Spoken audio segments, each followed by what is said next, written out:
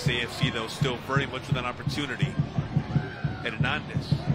Inside. Shot. Goal! SAFC! Just like that, it's a 2-1 lead.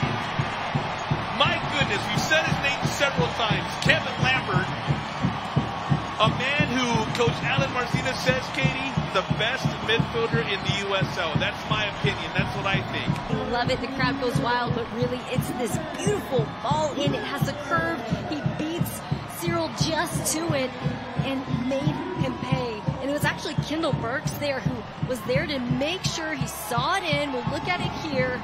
And yet, it goes all the way in. Fan. placement, yeah.